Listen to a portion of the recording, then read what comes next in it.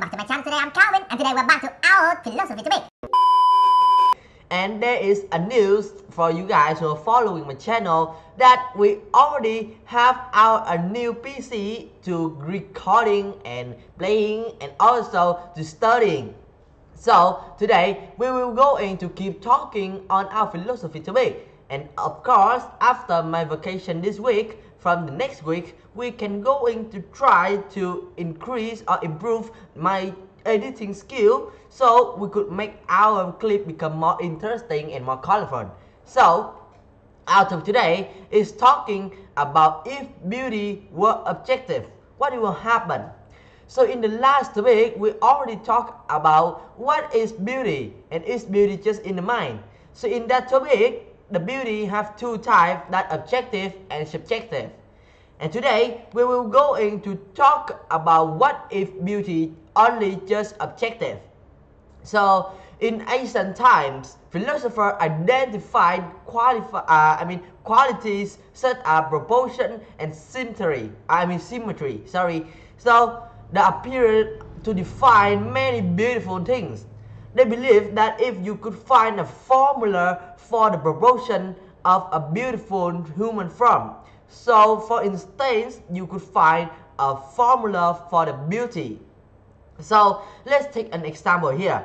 For an example, there is an artist that built a statue of the of a human made by rock. So there is some people who have the objective beauty will think that oh that statue lies in the symmetrical feature of his face.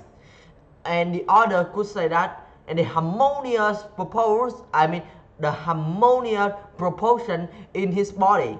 If I copy those shape and those proportion, I could create an, another perfect and beautiful human statue too. So in those time, there is many things that was defined by the objective beauty. For example, an architect in Asian have made a very complicated but still simple recipe of mathematics to decide what is a beautiful building. So in that recipe, if the height and the width plus each other and then go into like spread with the A, so the result have to be 1.162. So if the result of like the percent or you could say that the result of the y to height recipe is 1.62 so in that time that building is going to be called a beautiful building so as an example here the building that have the same recipe and the same results as the architect Asian recipe will go into be a beautiful building in that time. But there is a problem here. So as you guys can see if you guys want to make a real number about uh, I mean about a building so you guys have to make that building is a square oh I'm, I'm, I'm sorry I didn't uh, remember. What is the shape like there is a mm, shape like it's a square but it look a little like a stick okay? So it's like it's not really a square. So it look like a book like this. So yeah yeah like this like this yeah. It's have it's like a square but i like i know it in vietnamese but i i, I didn't remember how to say it in english. So of course i just try to explain with you guys but the book shape that i show you guys is the shape that we could use the recipe to measure or calculating out is this a beautiful book with the recipe that architect in Asian race have made. So there is a problem. The building that have to be beautiful if it have the shape that I show you guys with my book.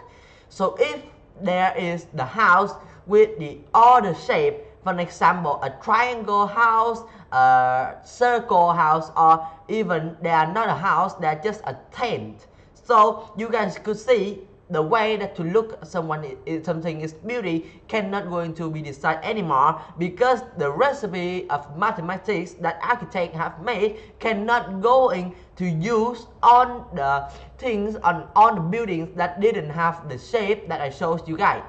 So that is the point of the objective. And also that's the end of my video today. In our next topic we're going to talk about if the beauty was subjective.